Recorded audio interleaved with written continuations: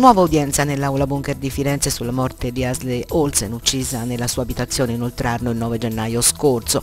Oggi il senegalese Sheikh Diou, unico imputato con l'accusa di omicidio volontario nel processo per la morte della giovane americana, ha raccontato ai giudici una diversa versione di quelle ultime ore trascorse nel suo appartamento.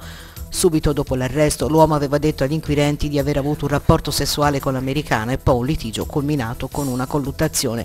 Oggi però, pur ribadendo che Asley, quando lui se ne andò dal mini appartamento, era sempre viva, ha cambiato alcuni dettagli nella ricostruzione degli ultimi minuti trascorsi con lei. Asley mi guardava dal letto, ha detto il senegalese in aula. Io la salutavo, lei mi sorrideva e mi ha mandato un bacio. Quando sono uscito non c'era niente di grave. Se avessi visto uscire del sangue non l'avrei mai abbandonata. Ero ubriaco, ma non certo pazzo.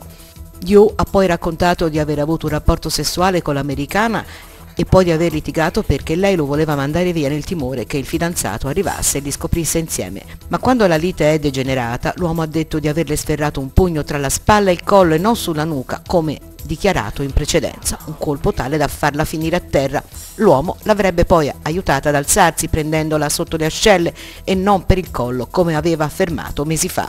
Il senegalese ha raccontato di aver incontrato Hasley la mattina del 9 gennaio intorno alle 4 nella discoteca Monte Carla di Firenze. Sarebbe stata la donna, ha affermato l'uomo, a indurlo a consumare cocaina sia all'interno del locale che a casa sua, dove lei lo aveva invitato per riposare dopo averlo raggiunto in strada all'uscita del locale. Il senegalese ha raccontato che quando arrivò nell'appartamento era ubriaco e aveva male alla testa.